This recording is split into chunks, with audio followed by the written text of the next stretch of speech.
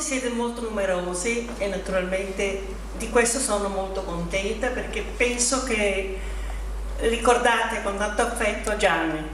Gianni che era un uomo eccezionale.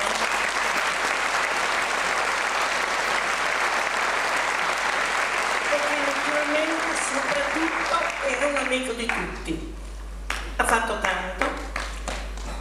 Noi, insomma, io con i miei figli, e tutta la mia famiglia, naturalmente qui ringrazio molto la Olga, c'è stato molto da fare. Ringrazio infinitamente perché abbiamo voluto, ringrazio naturalmente il maestro che è stato una, una, dato una, nostra, una musica con armonia e con forza, che ha voluto fare una cosa veramente eccezionale. Sono felicissima, sono felicissima per Gianni.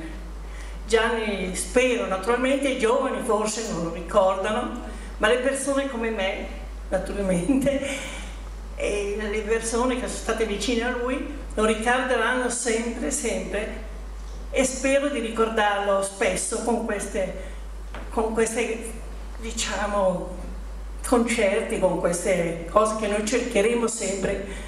Spero che i miei figli continueranno a ricordarlo con tanto.